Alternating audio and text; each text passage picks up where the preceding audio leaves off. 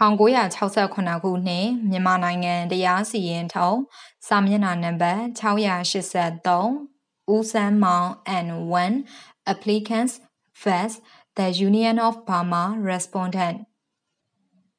ဤစီရင်ထုံး audio book ကိုအထက်တန်းရှိနေ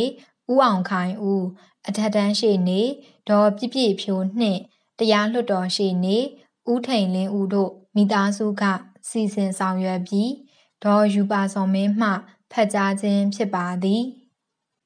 Criminal Miscellaneous Application before Usain Sain Jash U San Maung and one applicants vs the Union of Burma respondent. Code of Criminal Procedure Section 526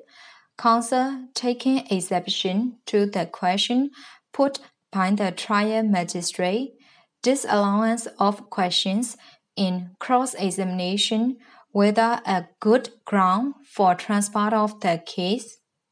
Hell, the counsel for the applicants has taken exception to the questions put by the trial magistrate and of his prohibiting some of the questions which the witnesses had already answered, but this can hardly be said to be a good ground for transport of the case, as it has been held in many cases that even the total disallowance of questions in cross-examination is not a good ground for transport of the case under Section 526 of the Criminal Procedure Code. Uba Kim vs. the Union of Burma 1954 BLR 191 AC Abdul Aziz Fest Ganesh 25 CR LJ 1185 Le Bahadur Fest the State 39 CR LJ 527 refer to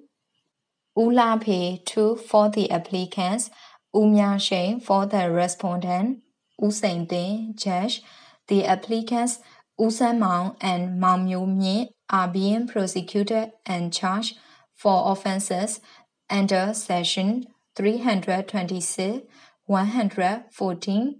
323 of the Penal Code in Criminal Regular Trial number 10 of 1967 of the five additional magistrate Prome during the course of the cross-examination of some of the prosecution witnesses who were recalled the trial magistrate is alleged to have interfered with the defense counsel in putting questions to the witnesses, it appears that there was an exchange of heated arguments between the bench and the bar, which culminated in the tendering of apology by the counsel for the accused, which was accepted by the trial magistrate. Thereafter, the defense counsel applied to the district magistrate for transport of the case. The Lennon district magistrate, in his criminal miscellaneous case number 4 of 1967, rejected the application on the ground that there was no reasonable ground on the part of the applicants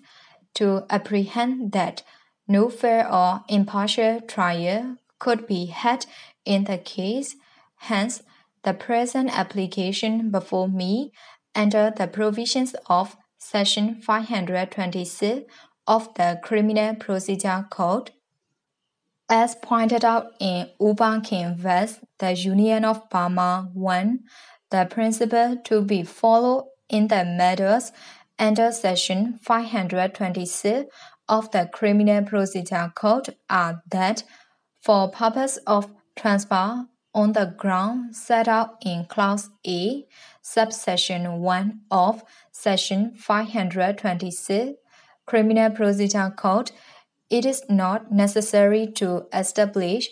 accurate bias in the mind of the magistrate concerned. What should be considered is whether the incident that took place before the magistrate are such as are calculated to create in the mind of the applicant for transfer a reasonable or justifiable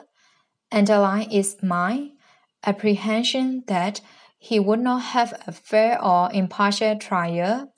In the instant case, the learned counsel for the applicants has taken exception to the question put by the trial magistrate and of his prohibiting some of the questions which the witnesses had already answered, but this can hardly be said to be a good ground for transport of the case, as it has been held in many cases that even the total disallowance of question in cross-examination is not a good ground for transport of the case under section 526 of the Criminal Procedure Code. Please see Abdul Aziz Fez Carnage 2 Le Bahadur Fez Empire 3 and C1 Singh Fez Empire 4 Ulape Lennon Counsel for the applicants. In the course of his argument before me has drawn my attention to the fact that the applicant is an advocate of many years standing and that he would not have applied for the transfer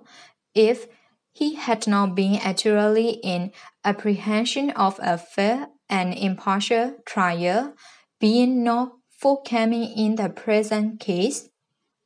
After what had passed between his clients and the trial magistrate, it is only reasonable on the part of his clients to fear that the court would be prejudiced against them. I do not, however, think that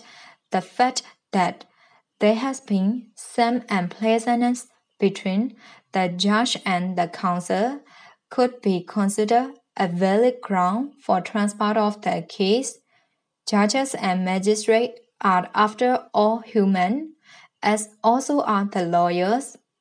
They are subject to different moods according to the varying situations around them, while official decorum would not permit a magistrate to indulge in senseless retort from the bench, he cannot be expected to remain mute without taking part in lively exchanges, even to the extent of causing some unpleasantness to the counsel. As pointed out by Dr. Mao Dash, as he then was in Utay Mao Fest, the Union of Burma 5, Judges and magistrates have their outbursts of temper, sometimes in court, and they have their bad moods now and then. Every angry word, every display of impatience from the bench does not give rise to a good ground for transport of the case, which is before the court. The time-honored tradition of the bench and the bar is that despite lively exchanges of words that often occur in court, harmony and understanding prevail, and at the moment of final decision, the judge or magistrate is capable of rising above passion or prejudice, of forgetting the anger or exasperation that he may have suffered during the long course of the trial, and of giving impartial justice to the limits of his power.